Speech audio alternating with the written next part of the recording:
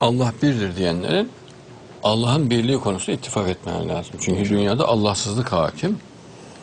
E, Darwinist materyalist düşünce dünyanın %99'unu Allahsız kitapsız hale getirdi.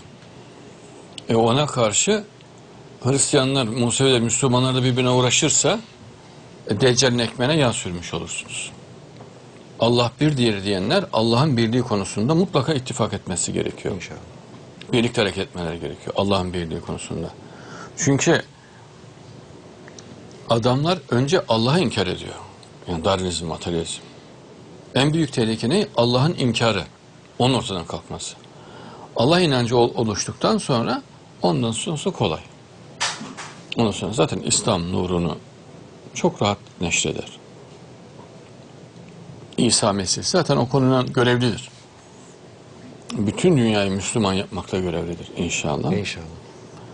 Ama Mehdi öyle bir ortam hazırlayacak ki İsa Aleyhisselam hazır eve gelecek adeta. Mobilyası döşenmiş, mutfağı hazır, her şey hazır. İsa Mesih sadece evi kullanım açacak. İnşallah. Öyle diyelim yani inşallah. İnşallah. Mehdiyete çok büyük iş düşüyor. Müslümanlara çok büyük iş düşüyor. İsa Mesih Allah alem aramızda. Yani bazen Avrupa'da, bazen Amerika'da fakat aramızda. İnşallah. İnşallah.